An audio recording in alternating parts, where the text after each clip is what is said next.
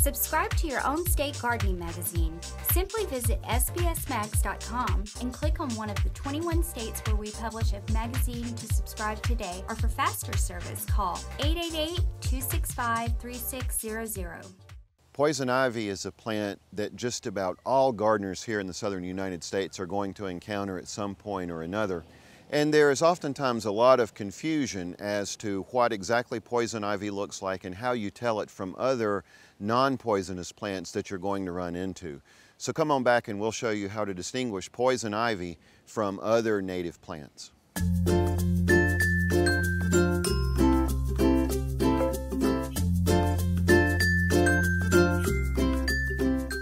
So we'll start by looking at poison ivy itself first, and then we'll go on to compare that to some other plants. Um, this is poison ivy. Poison ivy is actually a member of the cashew family. So if you enjoy cashew nuts, uh, poison ivy is a close relative of cashew nuts. And it is a woody vine. And as you can see, the leaves are actually divided up into leaflets. And I'm wearing vinyl gloves as I handle this. This is actually one leaf. And poison ivy will have one, two, three leaflets, which we often call leaves.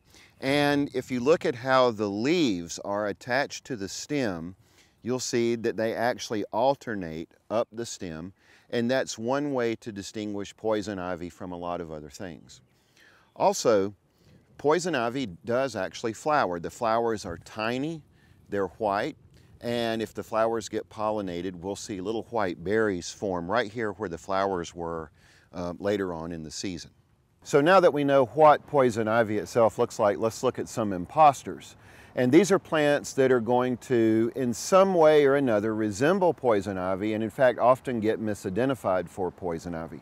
First one we want to look at is actually a grapevine that upon closer inspection doesn't look anything like poison ivy.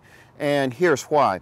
If you look at the leaves, first of all, the leaves are simple. They're not compound like poison ivy and you'll see these modified leaves called tendrils that wrap around whatever structure the vine is growing on and literally pull the vine up.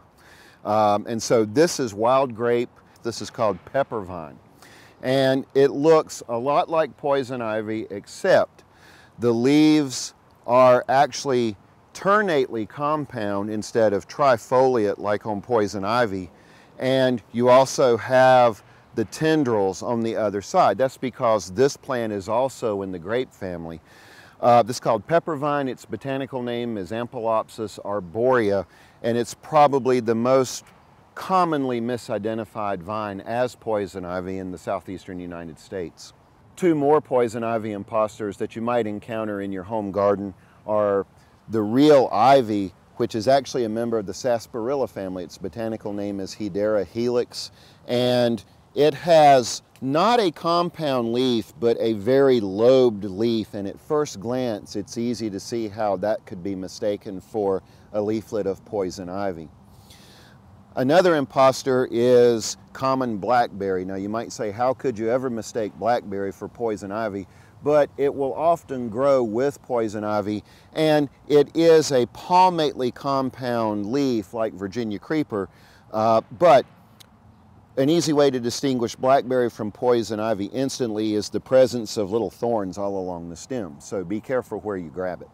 This is actually a tree called box elder. It's very closely related to maples. And it has a pinnately compound leaf, but the newer leaves, if you look closely, are actually trifoliate like poison ivy. Like every other maple, however, the leaves are oppositely arranged along a stem. This is also called box elder and you usually find this plant growing along creek banks or around disturbed home sites and a lot of people don't touch it because of its close resemblance to poison ivy. But let me show you something. Let's take a branch of box elder and hold it down to some real poison ivy and let you make the comparison. So that's how you distinguish poison ivy from a lot of non-toxic lookalikes. So be careful out there. And here's hoping your itch to get outside is coming from a good place. For State by State Gardening, I'm Kerry Heafner. Subscribe to your own state gardening magazine. Simply visit sbsmags.com and click on one of the 21 states where we publish a magazine to subscribe today, or for faster service, call 888 265 3600.